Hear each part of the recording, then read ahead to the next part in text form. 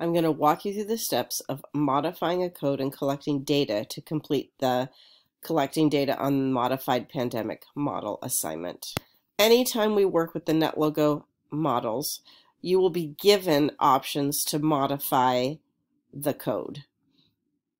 So you open up that document and in this document you have several options of how you want to modify the code. But let's first open up the NetLogo model that you will be changing. This model you've used before. You ran an experiment to see the effect of changing population on the time it takes for an entire population to become sick. Now you're going to change the model so that you can run a different kind of experiment. You have the option to change the code to either um, investigate the transmission rate on total time to infection, to investigate the recovery rate on total time to infection, or to investigate the behavior of adding masks to the total time to infection. Each of the modifications have a description of how you can modify it, and then they have very explicit instructions on how to change the code. Today I will just cover the transmission rate option.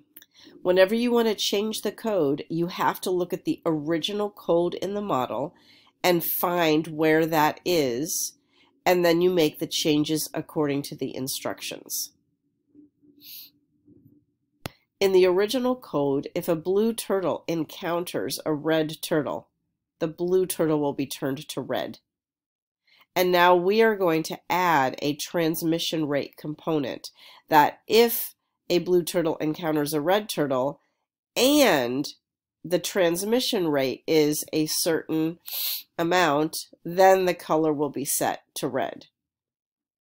So you can have a transmission rate of 5%, where only 5% of the time the turtles are going to turn red or get sick, or you can have up to 100%, which would be like the original code, where every time a blue turtle encounters a red turtle, it turns red. So the first thing that you want to do is find the code. All right, if you recall, you need to um, click on the lock so that you are now the author of the code. Then you go into the code and you search for where it asks the turtles to wiggle. All right, and if we scroll down, we'll find it on line 24. And according to these instructions, we need to add our code right after the zero. All right, so you just need to copy the highlighted portion, just that yellow portion, come back into the code, and add it right after the zero.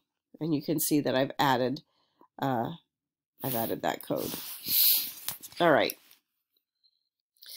The next thing we need to do is add a slider in here so that you can change the transition rate to run experiments.